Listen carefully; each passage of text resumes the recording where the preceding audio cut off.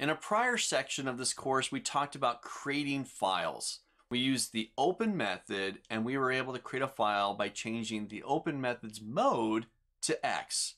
And X means create. Now, we were able to do that with the open method.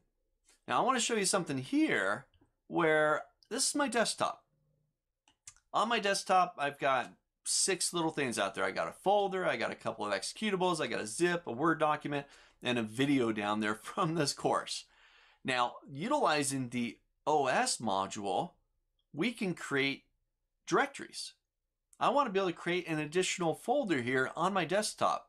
And then perhaps I want to be able to change directories into that new folder.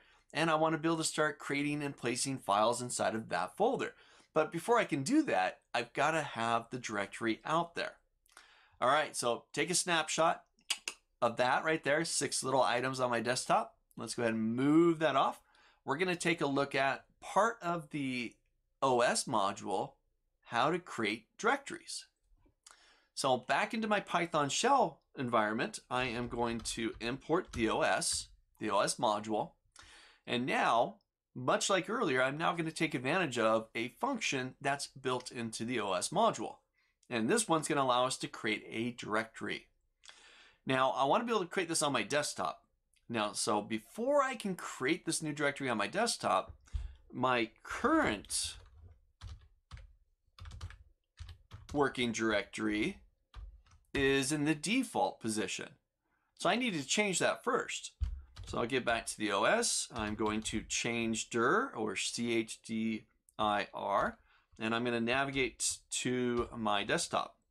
So let's say users, uh, Kyle P, uh, desktop. All right, we'll close that. Dun, dun, dun, Looks good. And let's just confirm. Let's print out the current working directory now.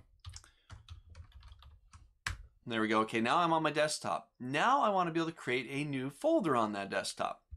Well, once again, built into the OS module, we have make dirs. There it is right there.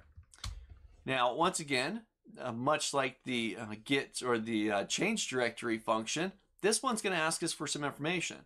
And really, I'm going to supply it just with one. I'm going to give it the new directory name. So it's a string value. So within quotes, I am going to call this, uh, let's call it Python OS. There we go. All right, remember those six items sitting on my desktop? I'm now going to create a seventh item there, a folder.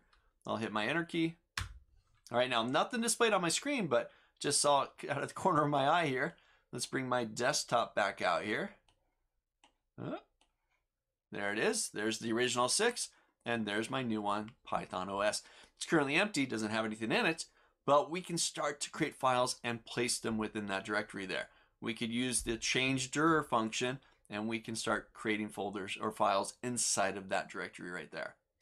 So this is all using the OS module built into Python and using some functions to help us interface with our operating system and files and folders on our drives.